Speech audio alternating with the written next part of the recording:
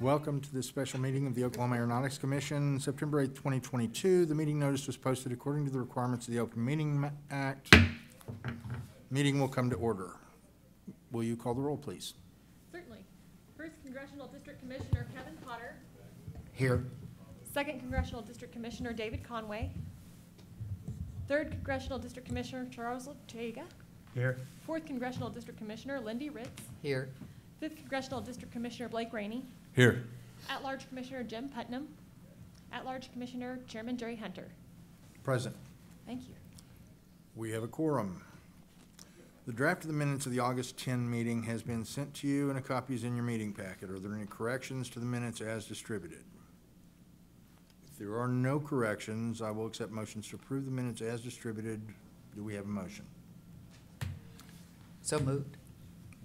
Do we have a second? Second. Any discussion? If not, please call the roll. Commissioner Potter. Aye. Commissioner Ortega. Aye. Commissioner Ritz. Aye. Commissioner Rainey. Aye. Chairman Hunter. Aye. Thank you. The motion passes. The next order of business is item four, introduction of new Aeronautics Commission staff. Director Ardies? Good morning, Mr. Chairman, Commissioners. Hope everyone's doing well on this fine September Thursday. Getting back to uh, some of our old roots of having commission meetings on Thursday. Uh, It's been a while, but uh, we still remember how to do it. Uh, Got a couple of new staff members uh, to introduce to you. Um, Jace Torres, our new aviation program manager, started at the end of July. Comes to us from the OU aviation program, and uh, I know he's excited to get started working for the commission. He's been out beating the pavement at the airport system across the great state of Oklahoma and uh, putting a little uh, little sweat sweat equity into that pavement because I know it's been a little hot out there on a couple of those inspections. Uh, Clarissa Bailey, our procurement and finance specialist, who uh, replaced Courtney Finney, who I know you all uh, remember, and she started in early August uh, and is doing some great things. Comes to us from the Oklahoma Water Resources Board. And then, of course, uh, we have Russell Taylor, uh, our fall 2022 intern, who's not here with us today, but started September 6th, uh, also from the OU Aviation Program. And Jace or, or Clarissa, I don't know if you want to say anything or just give a wave, but uh, feel free. So there, there you go. There's our two new staff members. They're uh, very capable uh, individuals and are doing great things for the commission. Their uh, resumes uh, should be in your commission packet should you have an interest to uh, check those out. So encourage you all to uh, stop by and introduce yourselves after the commission meeting and, and make them feel welcome to the Aeronautics Commission. Mr. Chairman, I'll stand for any questions or comments. Thank you, Grayson.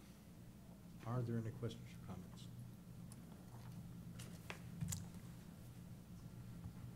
If not, welcome to all the new staff. Uh, Our next item is item five, Uh, the Director's Report. Director Ardies, we are ready.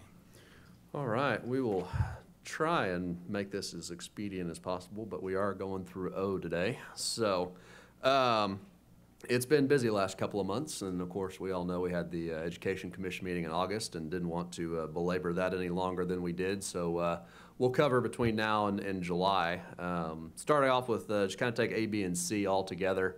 Uh, that was the end of my July. That uh, was my, you might call scheduling nightmare, but I went to three different events, the Farnborough Air Show, Washington DC for the Contract Tower Association, and of course, uh, Oshkosh for the Experimental Aircraft Association. All three were amazing events. Uh, Farnborough, of course, uh, international show where they alternate between Paris and, and Farnborough, Farnborough being in even, even years, Paris being in odd years. Um, had 11 different Oklahoma companies that were exhibiting at the Oklahoma booth, uh, along with a dozen other uh, community and state partners at that particular event. Of course, Governor Stitt uh, headlined the, the event and was able to go around and meet uh, a bunch of different companies. I think for the total week, we had 82 meetings lined up that particular week with various companies. And I think Governor Stitt put it uh, best when he said, you know, this is an opportunity to bring Oklahoma to the world, but also an opportunity to bring the world back to Oklahoma. And uh, everybody was excited. Everybody was excited about the opportunities afforded Oklahoma's aviation aerospace industry, uh, excited about the connections either from traditional MRO to new AAM and UAS tech companies uh, looking to potentially come to Oklahoma for testing and manufacturing purposes. So a great opportunity there, uh, and of course, we're able to use it as an opportunity to meet with our uh, members uh, over there, um, whether it was the House of Parliament uh, or some of the other dignitaries within the British government, um, and really show them here's how Oklahoma can help support British aviation aerospace uh, and be able to foster that relationship between Oklahoma and the United Kingdom. Contract Tower Program uh, in DC, uh, at the end of July, they always have their Contract Tower Annual Conference. Uh, Allows us to have an opportunity to talk about contract towers. As you all know, we have six contract towers in the FAA Contract Tower Program, so six of our 10 towers. There's also a tower that is operated by the same contractor but paid for out of the DoD budget. So technically, seven towers operated by contractors here uh, in Oklahoma which is the lion's share, only three FAA staff towers. I also had this an opportunity to meet with our congressional delegation, um, and just wanted to uh, say thank you to Congressman Mullins, Caleb Cochran, uh, who's uh, sitting here with us today on the, the commission meeting. Uh, met with the, the congressman's office there, as well as the, the rest of our six members of the delegation, and got to have a good discussion as we go into the FAA reauthorization debate, which is going to get started in earnest uh, in 2023. And then follow that on with Oshkosh and the Experimental Aircraft Association. Uh, really great uh, event there. Um, this was Inhofe's last Oshkosh as a sitting U.S. Senator. Of course, not his last Oshkosh. He uh, reemphasized that multiple times throughout the, uh, the course of time that he was there. He does plan to come back to Oshkosh and just enjoy aviation uh, as, a, uh, as, a, as a normal person. Uh, we also had a, a late arrival in Governor Stitt. Governor Stitt came to see uh, what Oshkosh was all about. Uh, it was his first time uh, as, as the governor. He'd been a couple times prior to that, just as an aviation enthusiast. But uh, governor was there. Of course, we all had the, uh, the headline event on Saturday uh, at lunch where EA's Jack Pelton, Senator Inhofe, and, and of course Governor Stitt all spoke there, which was a tent of about 200 people, um, and, and really great opportunities. And they were all excited to hear about the things that aeronautics, aviation, aerospace uh, was happening throughout the state. We had several several good meetings throughout that week. Uh, and Sandra, if we had any pictures um, about that. Nope. Um, so great, great opportunity there um, to showcase Oklahoma to the Oshkosh crew, and and really great opportunity to have Inhofe have his last Oshkosh as a sitting U.S. senator. Follow that on with a congressional staffers briefing on August the 4th. Uh, every year, we and FAA try and get together to brief the Oklahoma congressional delegation uh, and kind of explain our roles and explain how the AIP program works to invest in various programs and projects throughout the state and just kind of talk about what all is happening. Of course, Michelle Coppedge, the director of the Monroney Center, Rob Lowe, our regional director from the Southwest region, uh, headlined the event and had an opportunity to talk about how Oklahoma Aeronautics plays into the FAA project program and how our five-year airport construction program works uh, and how just the commission uh, works in general. And, and I know given some of the new staff uh, that our congressional delegation has both at the DC level and, and at the field level, it was good to make those connections and, and have a discussion. Of course, the, the hot topic was the Tulsa International Airport Air Traffic Control Tower, which is first and foremost on everybody's minds is the, the top infrastructure need for the state of Oklahoma. We followed that on with uh, Tinker the Primes, uh, August 9th, the 11th. Of course, we kicked that off with the first ever Women in Aeronautics event, and I think Sandra would agree with me that uh, it was a pretty good event. Uh, had a opportunity to induce two, introduce two great speakers uh, that were at Tinker Air Force Base that were women supporting aerospace and defense. Um, really great opportunity there, and I think they are looking to grow that event in the future. Uh, and, and I hope that we will have the opportunity to partner with them to make that another success like Women in Aviation Aerospace Day has been for us in the fall.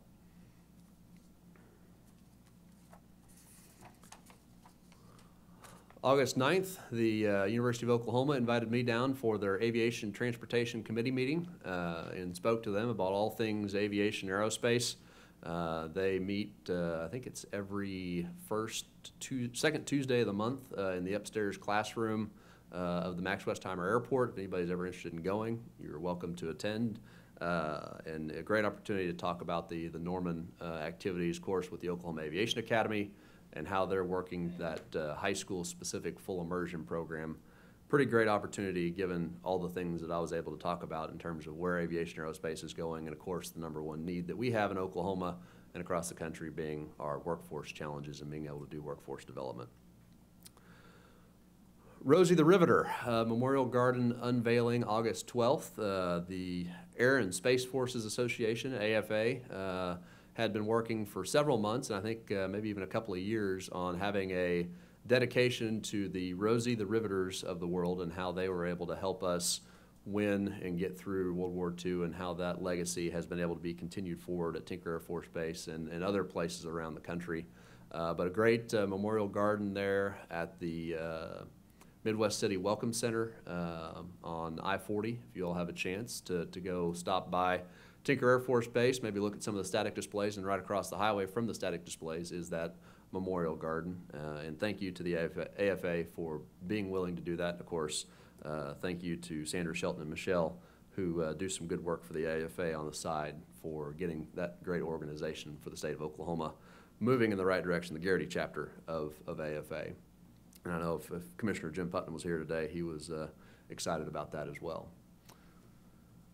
Followed that on with the Air Force Sustainment Center change of command. Uh, had a uh, our three star, uh, which is the AFSC Air Force Sustainment Center uh, leader, uh, changed out. Uh, we now have General Stacy Hawkins, who's been a long long lineage of material command, maintenance, logistics, and I think is going to be a great commander for AFSC moving forward. Of course, we wish the previous general uh, well, uh, going to the Pentagon and going to do some great work and continue working uh, for that moving forward. So got to attend the uh, change of command ceremony, which is always a great opportunity to go to Tinker Air Force Base and see the amazing things happening inside Building 3001. Uh, Boeing Company, uh, some of you all may know Todd Pauly from the Boeing Company. Of course, Todd Pauly, son of Oklahoma, done a lot of work for all kinds of things in Oklahoma, uh, whether aviation, aerospace, politics, campaigns, you name it. Uh, now with the Boeing Company, invited me to speak at the uh, National Governors Association uh, workforce meeting.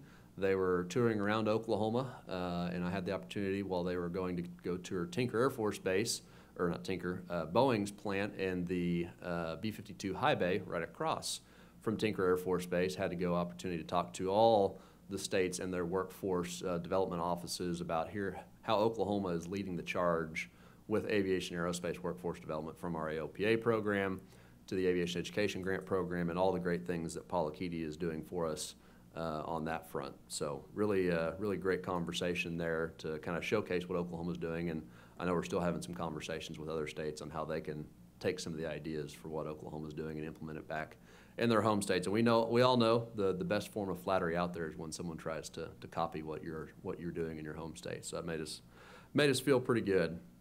Um, also had the opportunity uh, that following day on August 17th to attend uh, Governor Stitt, Governor Hutchinson, had a signing ceremony to uh, cement our two states together uh, in terms of being able to be strategic partners on all things advanced air mobility in unmanned aircraft systems. Um, that was a, a great MOU signing there at OSU Tulsa. Um, of course, we know the Northeast Oklahoma corridor and the Northwest Arkansas corridor uh, play very well together. Uh, there's a lot of energy surrounding that, both from an industrial and commercial standpoint, from a highway standpoint, just from a tourism standpoint. And of course, we have the opportunity now to bring that into the new technology sector of aviation aerospace with the MOU and being able to work together between Arkansas and, and Oklahoma. And of course, uh, if you didn't see last Friday, a great announcement by the Northeast Tulsa uh, team uh, with their Build Back Better grant announcement that they're able to get specifically focused on AAM development in the Northeast corridor uh, of Oklahoma. University of Oklahoma about three years ago stood up a uh, master's program, executive master's program for aerospace and defense. Uh, we were working with them for several years to stand that up, and of course, now that it has been stood up, they're on their third co- cohort of students going through that program, and every year I get the opportunity to go speak to them and kind of give them the briefing of what aviation aerospace means to the state. And of course, these are students not just from Oklahoma, but all across the country and even some international students as well. And so it's great to share that story of what Oklahoma's doing, but then also great to hear what they may be experiencing back in their home states and what are some of the challenges they're able to overcome that we may be experiencing in Oklahoma. And so a good opportunity to go visit with them at the Delaware Resource Group uh, their campus where they have their, the last two weeks of their program in person on the DRG campus, and they go around to see some amazing stuff as to what Oklahoma has to offer. So, uh, had had opportunity to speak to them, and uh, also had a little opportunity to learn from them and some of the challenges, whether it was how South Carolina was able to recruit the uh, Boeing 787 plant or uh, some of the other economic development initiatives that their companies were able to benefit from from other states, and, and take some of that back and learn a little bit about how Oklahoma might be able to improve our offerings moving forward. Oklahoma Strategic Military Planning Commission, uh, as, as you all well know, that's one of our close partner agencies uh, in the state of Oklahoma. I've worked with them for years on military training airspace legislation, the OMA Camp uh, project to map out all the state's military airspace in Oklahoma. Uh, and uh, their chairman has asked that we come participate in their monthly meetings a little bit more frequently. They're very excited about the potential of, of course, AAM and UAS, especially with some of the things that uh, Fort Sill and the FISTA uh, and some of the counter UAS activities that they're trying to stand up down in southwest Oklahoma. And so we're going to go try and help them uh, navigate uh, and continue moving forward within that particular arena. So I had an opportunity to present for about 20 minutes at their commission meeting on August 18th. Uh, also, Oklahoma was able to welcome uh, Vice Admiral Jeff Trussler, uh, native of uh, Miami, Oklahoma, uh, back to uh, Oklahoma. ODIA, Oklahoma Defense Industries Association, uh, had a defense briefing where he was able to speak and kind of give us that purview and perspective of, of the Navy and DOD. And of course, we know we have the, the Navy TACAMO and the contingent out of Tinker Air Force Base and, and how, how they play a role in the Navy Strategic Command and how Oklahoma can best position itself moving forward for uh, supporting and continuing our support for the Navy at Tinker Air Force Base. September 1st, uh, Claremore uh, was able to build 10 T hangars over the last probably about 12 to 18 months, and they wanted me to come speak about aviation aerospace at the ribbon cutting ceremony. Just for clarification, this was not one of our projects. This was one of their projects that they did on their own. Um, really glad to see it. They uh, rented those 10 T hangars, I believe, in about 45 minutes, uh, they said. Uh, the, the demand was so strong that uh, even after raising their prices uh, fairly significantly, I think from where they previously were, uh, they were able to get uh, everybody rented out. In fact, I, I'd heard a few people that were on minute 50 and 55 uh, sending emails in to the airport manager and didn't get a hangar. They were a little disappointed because they didn't realize how quickly it was going to be going. So, uh, but great, great things happening up there in Claremore, Oklahoma, uh, and they're continuing to see some of the success of uh, just aviation growth in general, the Tulsa metro area. And then yesterday, uh, we've, we've come to the end. Yesterday, I had the, the pleasure to speak to about, oh, 200, 250 people at the Tulsa Rotary Club, uh, just about aviation aerospace. Um, and uh, Jerry Barrientos, who's very involved in aviation aerospace up in the Tulsa area, um, invited me to come speak several months ago uh, and had that opportunity to share the aviation aerospace story with a lot of people that probably didn't know what aviation aerospace meant to the state of Oklahoma. And of course, we know that's one of our biggest challenges in general is just awareness of what aviation aerospace can mean to Oklahoma, what it means to the economy of the state of Oklahoma, and why are we putting all this effort, energy behind aviation aerospace. Uh, beyond just being able to beat our chest and say Oklahoma's a leader and we're doing really great things, this is helping diversify Oklahoma's economy. And I think, uh, I think that message was heard loud and clear. Uh, and of course, I uh, issued them a, uh, an ask, an ask for help and assistance, uh, being that you need to go help spread the word of aviation aerospace and go tell your school districts, go tell your students about the opportunities afforded them in this aviation aerospace career. Go talk to parents and have those parents talk to their kids about all the career opportunities that are available in aviation aerospace. And so uh, it's been a busy couple of months, uh, but busy is good. Uh, busy means uh, things are going well and, and people like what you're having to say. So, uh, with that being said, Mr. Chairman, Commissioners, I'll stand for any questions. Thank you, Grayson. Do we have any questions or comments? If none, next on the agenda is item six, our legislative, congressional, and regulatory update. Sandra Shelton, please come forward.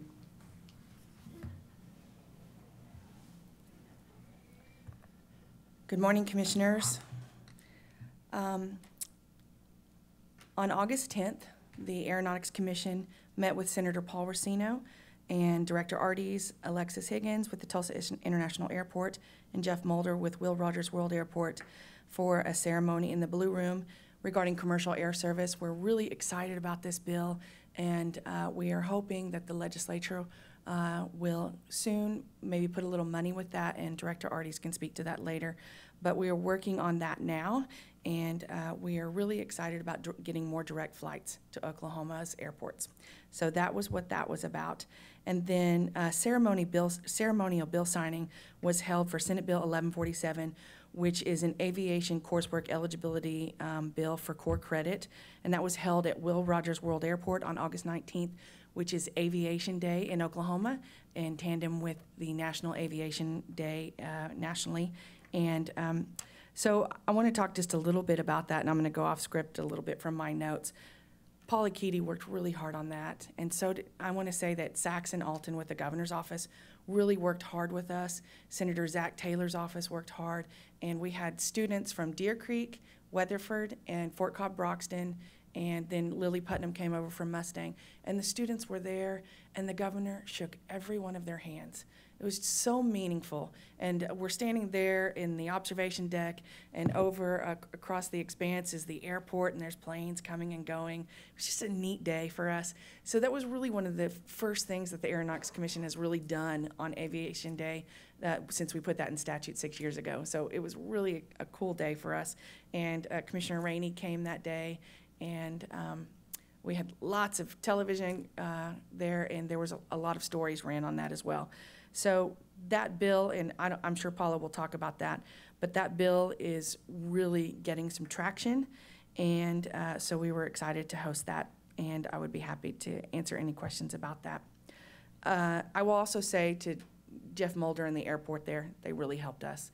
They took those students um, after our bill signing on a tour of the airport, and they got to see baggage claim and baggage handling, which is the greatest thing ever to see at that airport. So it's it's an incredible time to be in aviation to watch that. But the the last thing that I wanted to address to commissioners is that we held. Um, an emerging transportation technologies interim study with Representative Nicole Miller.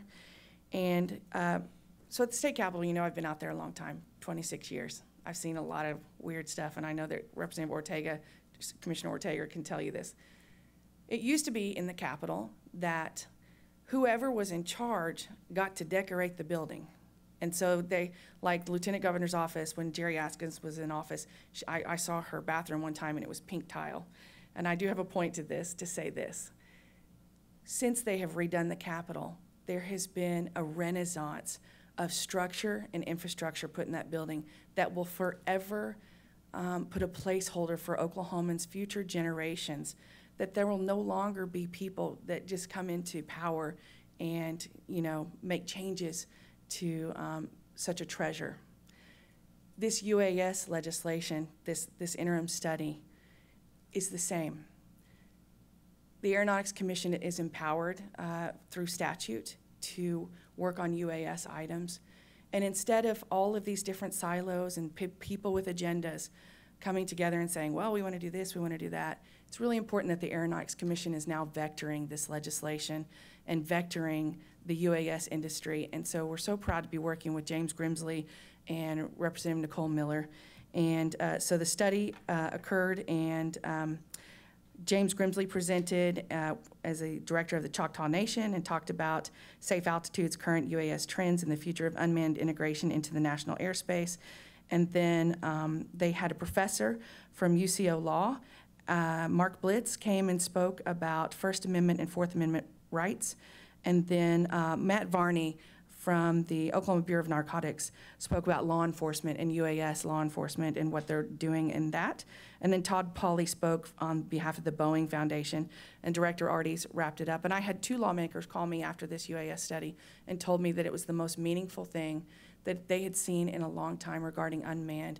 And in the building that day, they were shooting some sort of uh, uh, video because a drone was whirling through the building while, while we were trying to conduct our study, and it was kind of loud, but it was kind of interesting that they were doing that on that day. So, that to say, I'm very proud that the Aeronautics Commission uh, has a voice in UAS and unmanned, and I think that we will be, be building the framework that 50 years from now they're going to say, oh my gosh, the Aeronautics Commission, that little tiny engine did such amazing things back then. So I'm super proud of that. I'm happy to yield for any questions. Thank you, Sandra. Julie?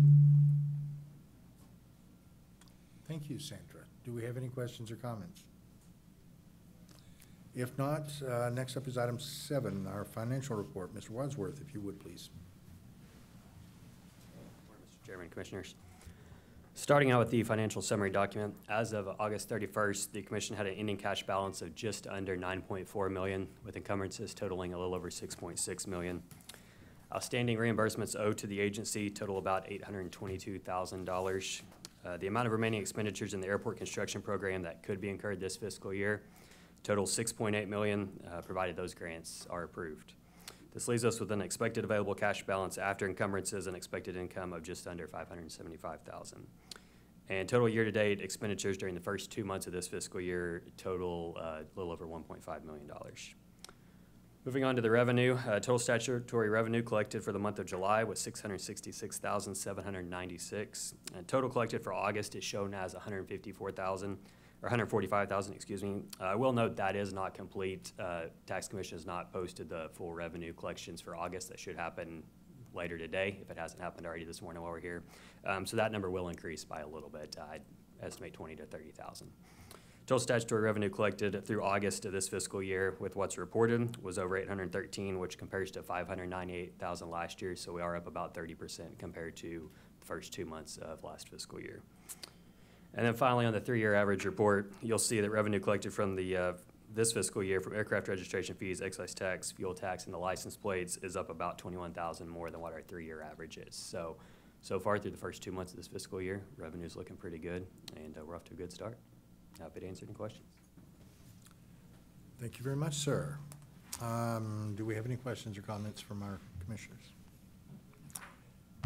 If not, the next order of business is item eight, Aerospace and Aviation Education Program Update. If Rockstar Paula Keady would please fill us Mr. in. Commissioner, Mr. Chairman and Commissioners, good morning. Uh, I'd like to report on several really positive things that have taken place in the last couple of months. First, the Superintendent Counselor Aviation, and it was called Expo. It really was a serious meeting.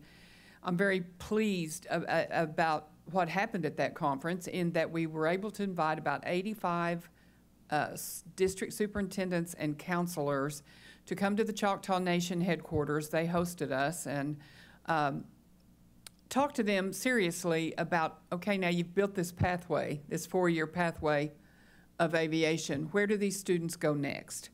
And let them understand what the opportunities are for post-secondary education in Oklahoma in aviation.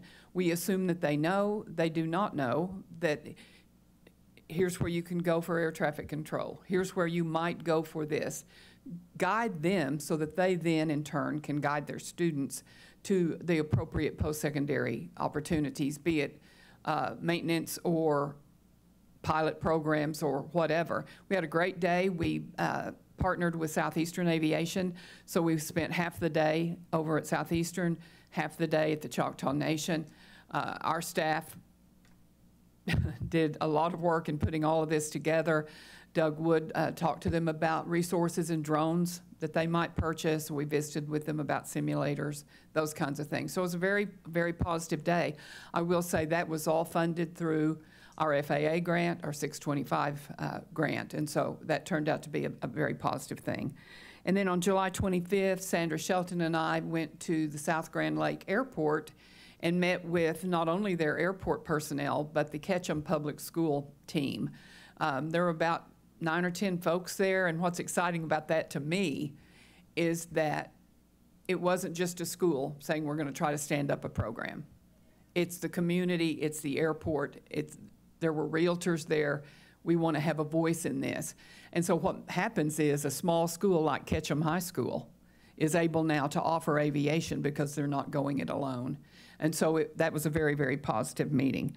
I've spent, uh, I did a really quick try to finish up the summer with as many school visits as I could, knowing that most schools can't just turn around and offer a new aviation course in July and try to make that fly.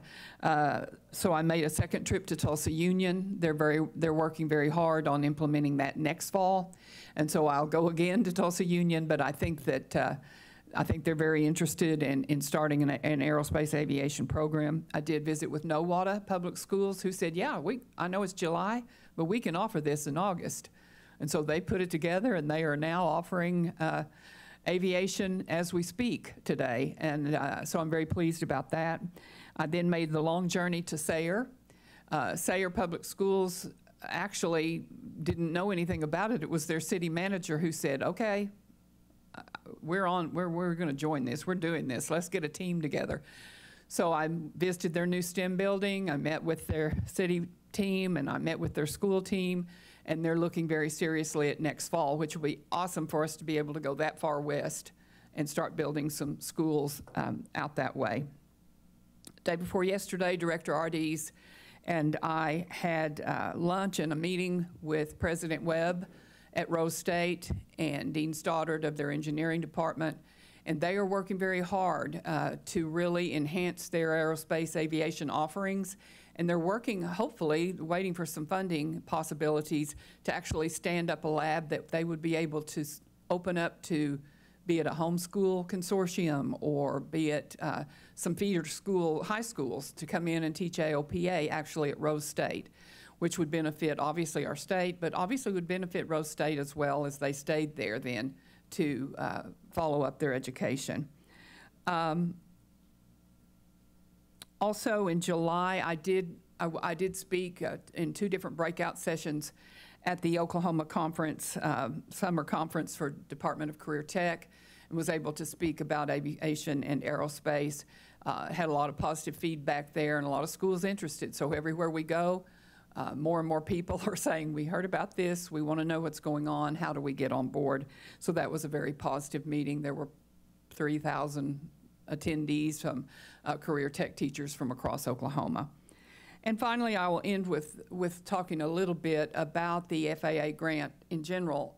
Uh, We submitted our second quarterly report uh, at the end of the month, and as we put that together, Michelle and, and Chris put the financials together and submitted that, and I was asked to write the narratives that go with the report, and one of them is a summary of activities, and the other is what you feel like your accomplishments were. And as we put that together, I was able to say that we met with probably over 4,000 school administrators, counselors, and educators because of the opportunities of this FAA grant and being able to be at these conferences. Uh, I was able to say that we trained our teachers, that we met the 50, our goal of 50 or more schools, and that we were able to train all of those teachers. Uh, So as we put all that together and we're able to say we're, we're ranked number one in the nation in the number of schools, and to send that off to FAA made me very, very proud, very proud of this team who did a lot of work to make sure that this grant is implemented. So if you look in the rearview mirror at the first quarter uh, of, of accomplishments, uh, it was very positive and very, I thought it was rewarding personally to be able to implement that. As we move forward in the last two quarters, right now, we're working with all 57 schools. We're able to purchase them $2,000 worth of year one supplies with the FAA grant. So if your high school is teaching the AOPA curriculum, we were able to buy them what they need for their lab to teach those hands-on activities. Uh, As you probably know, many times it was the classroom teacher himself or herself running out there to buy the, the stuff they needed for the next day's lab or whatever. And so we were able to, to do that with the FAA funds. The other two large events that are be coming down the pike in the last two quarters of implementation one will be a two-day drone UAS event at Oklahoma State University where our 57 teachers will be come and listen to experts uh, on UAS and drone, using drones in school in particular. And then the final event, and Sandra and Michelle and I worked on this last week a little, will be in April, and that will be Oklahoma Student Pilot Day. And so our 57 schools will be able to come to Tulsa, and we're working with, a- at Hangar and with the Tulsa Air and Space Museum to uh, put that um, together on April 6th, isn't that right, Sandra? So we have two big events left for grant implementation, finish up buying the supplies, and then I'll close by saying each of our five aviation high schools of excellence will also offer two STEM days.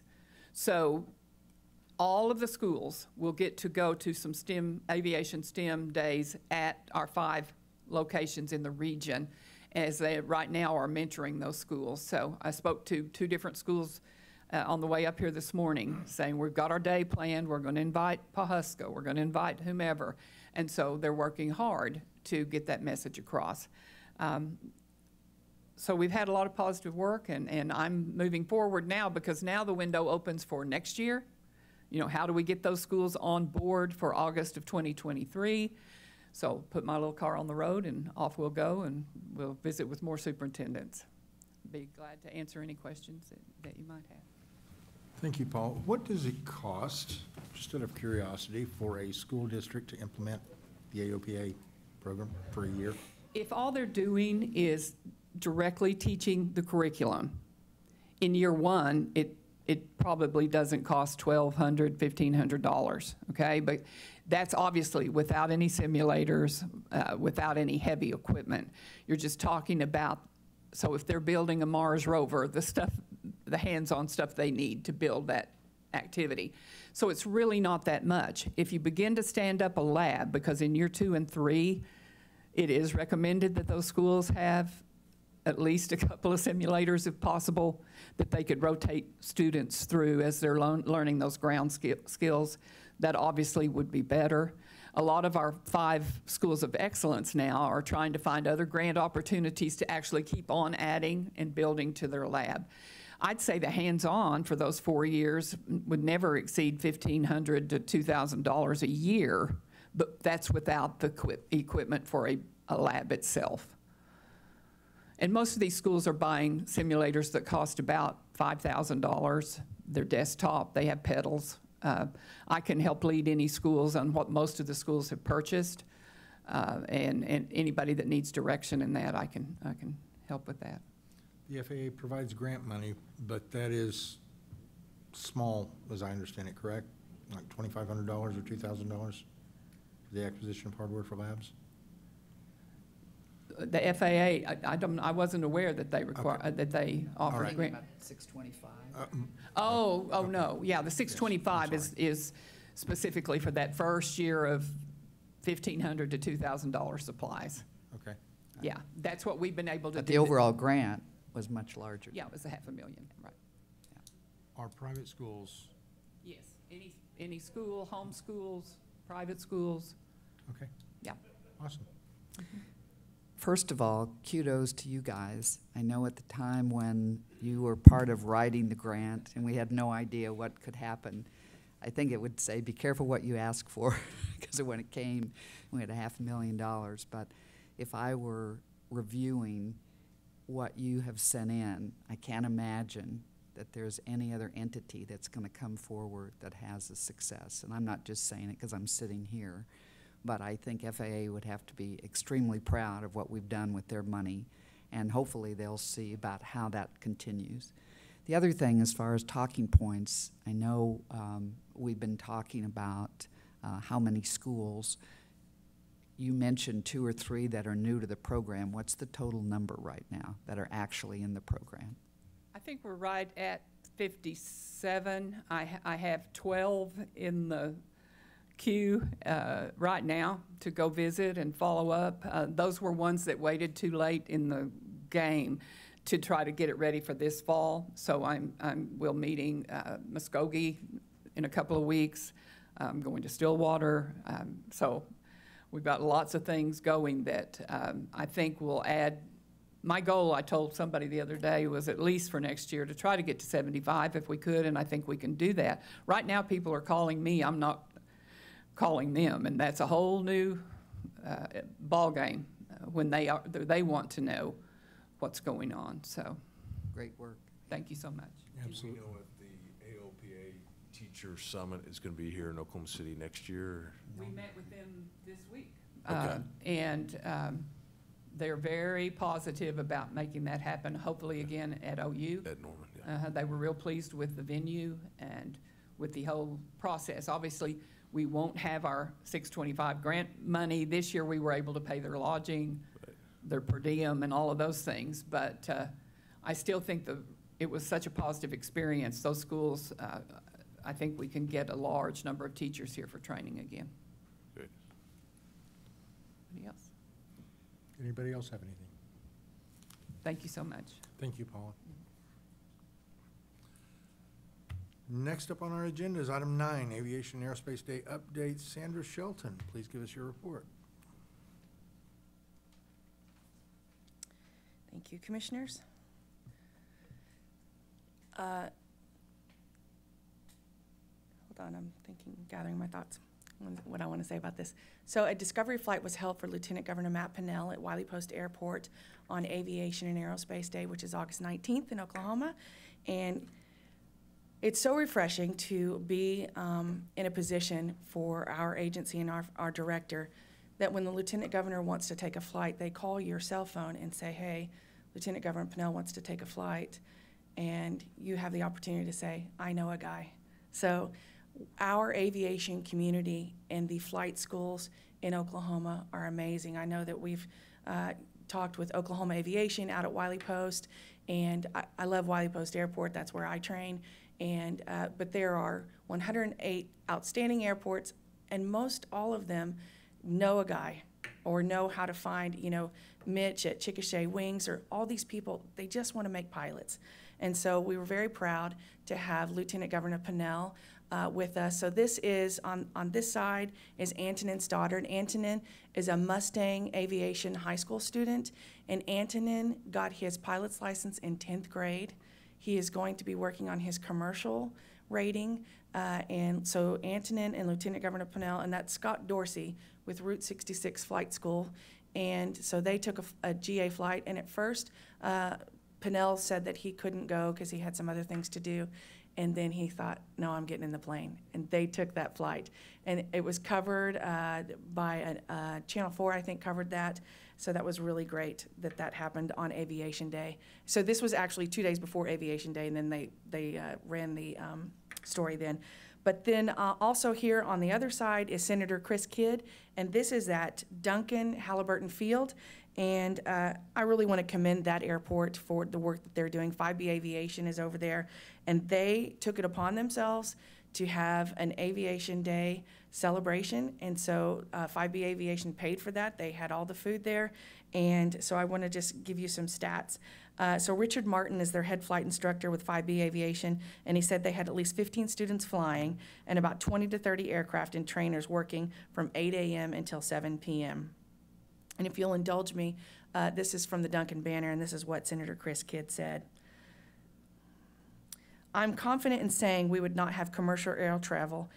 We wouldn't be going to space. We wouldn't know what the jet stream is or a stratosphere. We wouldn't have a spacesuit, and the list goes on and on if it weren't for Oklahoma and Oklahomans. That's just the history. If you look what Oklahoma is doing now, we're leading the nation in aviation and aerospace and also in Department of Defense as far as our aerospace and defense sector. And of course, Duncan has played a huge role in the history and in the future. You look at the billings in their company, which is 5B Aviation, it's extremely important to their company. Halliburton, I don't think, would be where it is today, even though it's not much in Duncan anymore, if it weren't for aerospace and air travel and the things that were going on in Oklahoma during those pioneering days of aerospace. What, just 40 miles from here, it was a one eyed sharecropper's son who patented the first spacesuit, discovered the jet stream and stratosphere. This part of Oklahoma is extremely important. In World War I, Oklahoma is the very first place airplanes were used. Right here at Fort Sill in World War I, it was wood and canvas planes, but I guess you can say the Air Force got its start right here in Oklahoma. Senator Chris Kidd was the legislator who, um, it was his first piece of legislation, Senate Bill 47 from the 2017 legislative session, that put in state statute Oklahoma Aviation and Aerospace Day. So I'm so proud to see Duncan doing that as well. Also, uh, we talked about the ceremonial bill signing at Will Rogers. This is a photo from that day, and we could just not be more proud of Paula and Michelle and their work in our aero education program. And I cannot wait for 50 years from now when they talk about the time that Oklahoma had the era of the airplane. So thank you so much. I'd be happy to yield for questions. Thank you so much, Sandra. Do we have any questions or comments? If not, on to the next item. Uh, Item 10, our five-year airport construction program. Mr. Nick Young, please come forward. Thank you, Mr. Chairman, Commissioners. Uh, For this item, we are seeking the approval to add six hangar projects into our airport construction program as part of this year's hangar program. Uh, The first project here I have before you, and uh, just before I get started, I'll note that the prices that you see here, uh, preliminary estimated uh, OAC portion of the grant amounts here. So uh, the cost that you're seeing here is the commission portion of this, and I'll I'll allude to some of the early estimated costs of these projects as we go through. At Claremore Regional Airport, they are seeking grant for a hundred foot by seventy foot, seventy-five foot box hangar with the anticipation of uh, leasing this out to their air evac folks there, which would then free up uh, the prime FBO hangar space that they have right there on the flight line. Uh, total estimated project cost for this is about one point one to one point two million dollars. So the, the commission's portion of that grant would be our maximum of three hundred thousand for that grant.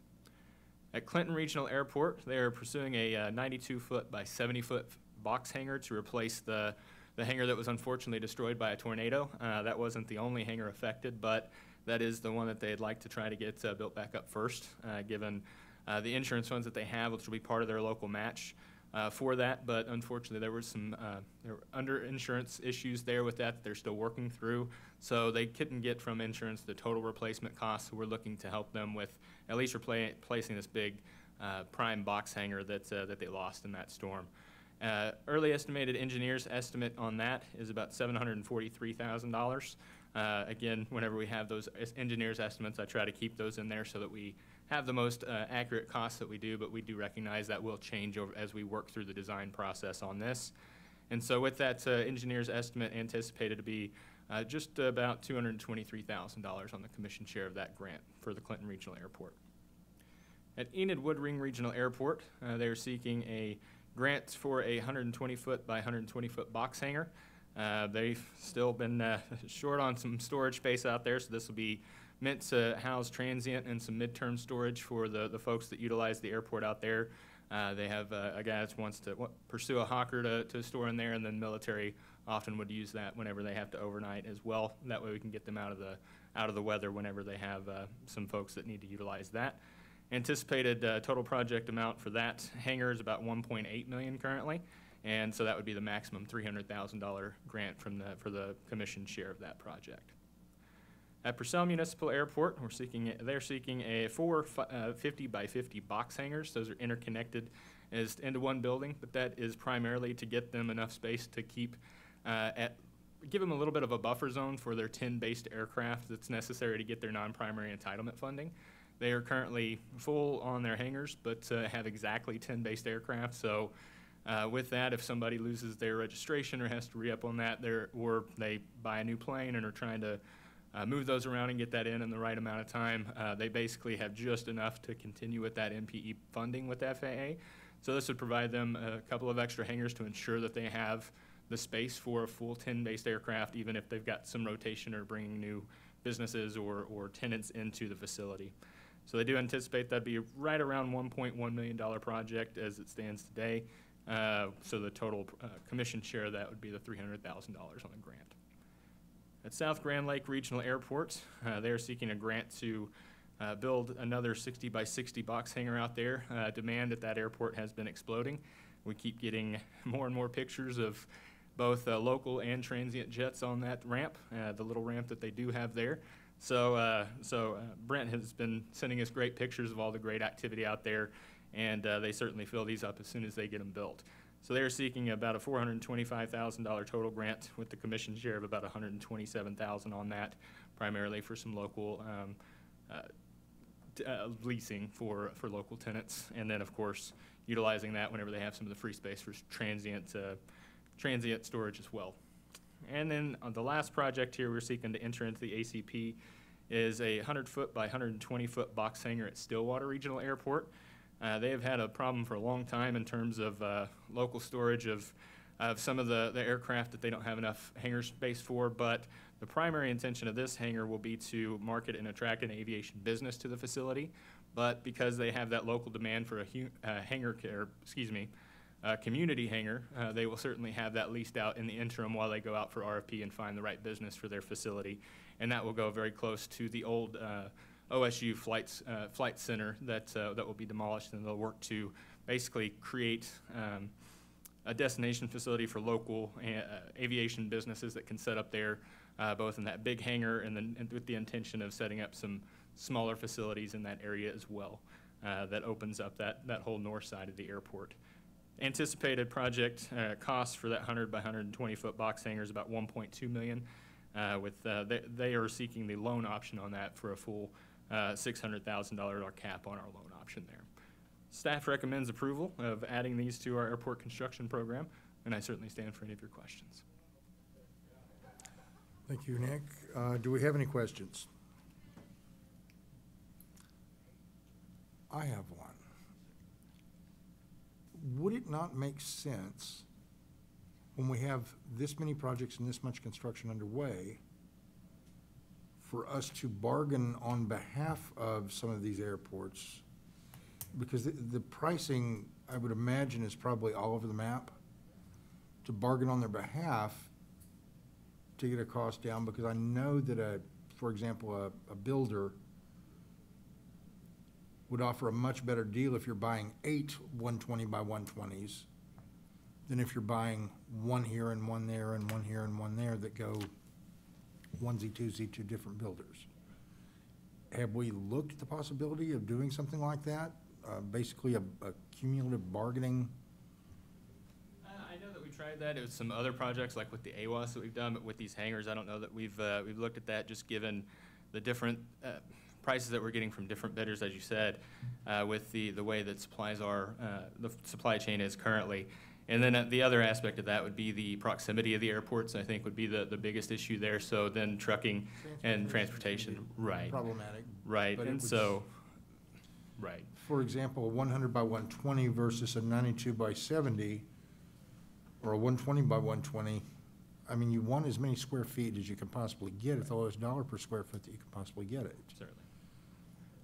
And the- so it, I might defer to, to Director Ardies. I think that uh, the, the main thing there is I know particularly for the Claremore Regional Airport, part of that will be spec'd out for some office space, whereas some of these other box hangars would not. And so if they were all under the same design and specification, I think that Right. that would be a good possibility. It was just for the purposes of what these communities are seeking for their purposes. Gotcha. That makes that a little bit more difficult to have just one set of plans and specs for all of these projects to try to, to try to get that, that economy of scale, as you mentioned. Uh, Director, anything you'd like to add to that? Yeah, Mr. Chairman, we have uh, actually looked at that from the T-hangar perspective, because T-hangars are pretty much T-hangars. You got T-hangar here, you got T-hangar there, they're all about the same size. And so that, I think we could look at maybe grouping T-hangar projects together and get, you know, from Rectitube or some of the other manufacturers, maybe get some economies of scale. With the box hangars, because they are so individualized and specific, you know, even though you may see a hundred by hundred box hangar, one hundred by hundred may be, you know, a twenty-two foot tall door, and the other may be only an eighteen foot tall door. That's where it's gonna become kind of specific on a individual architecturally designed project. Could be doable, yeah, but I think where we get our economies of scale better off would be on some of those T-hangars. So this isn't the end of the hangar project list. This is just what we have to present to you today. And so as we look at some of those T-hangars, there's a potential, like Nick was saying, maybe we look at bidding those out as a project like we did the AWOS grouping um, a couple of months ago, because we could get some potential uh, prospects. But I, I would like to visit with some of the consultants and some of the architects just to get their theories and thoughts as to how much savings we're talking about and um, what the administrative process looks like on, on a hangar project like that. Okay. Do we have any other questions or comments? Thank you very much, Nick. I appreciate you, sir. Um, Do we have a motion to approve the amendment to the five-year ACP as it is, as presented? So moved. Second. Could you please call the roll? Commissioner Potter, Aye. Commissioner Ortega, Aye. Commissioner Ritz, Aye. Commissioner Rainey, Aye. Chairman Hunter. Aye. The motion passes. The next order of business is item 12, Airport Construction Grant Program Consent Docket. Commissioners, remember that any or all of the items on this consent docket can be considered individually. Mr. Chairman, I knew there was I'm sorry. One more in eleven. It's Oh, just I'm an sorry. informational only. I apologize. Thank you. Of course. So at this item, this is uh, uh, just a quick amendment. It's an informational only item on a project that we're looking to try and close out for Max Westheimer Airport. Uh, During the course of this project, there was additional testing that was needed, uh, as this is project was phase one of a taxiway reconstruction project out there. Um, This is for a line item adjustment, simply to balance out the additional co- uh, costs on the additional testing and basically move um, some underruns in the construction and grant administration over to take care of the cost of those additional tests that were, had to be done as part of that project. Uh, This amendment will not increase the commission share of the project or the project cost. This is simply to take care of those additional tests that needed to be done to make sure that we had the, the end product that was called for in the plans and specs of that project. Certainly happy to answer any questions anybody has. If we have none, now, we move to the next order of business, item 12. Mr. Nagavi. You're recognized. Thank you, Mr. Chairman. Good morning, Mr. Chairman and Commissioner. Uh, As you mentioned a little bit ago, uh, this is a um, consent docket, and you may request that any or all of these items be considered individually. Uh, The first project that we have is at Ardmore Municipal, that they're gonna construct a 120 by 120 box hangar. The total cost for this project is over 2.1 million dollar, and it will be funded with the 600,000 of state loan funds and over 1.5 million dollar of sponsor matching fund. Uh, We have Mr. Dan and Bill here. They can talk a little bit about this project. Mr. Chairman, uh, Commissioners, uh, thank you again for this opportunity to partner with the OAC.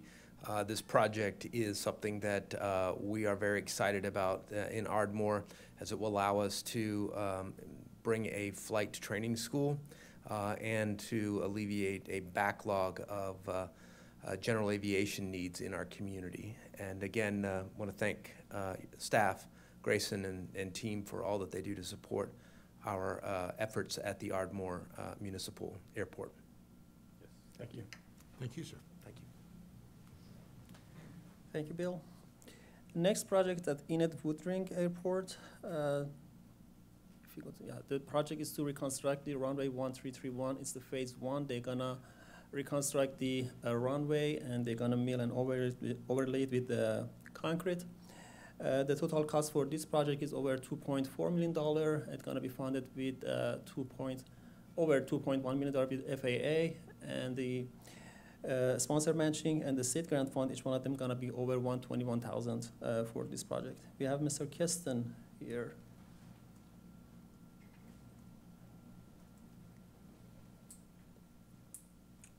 Good morning, Commissioners. I appreciate your time. Uh, This is our Crosswind Runway project.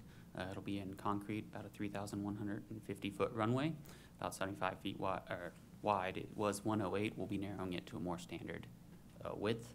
Uh, It, we'd also like to thank the commission and also the aeronautics uh, staff for their help with this project, and uh, probably our local asphalt bid- bidder for bidding asphalt so high that concrete is affordable.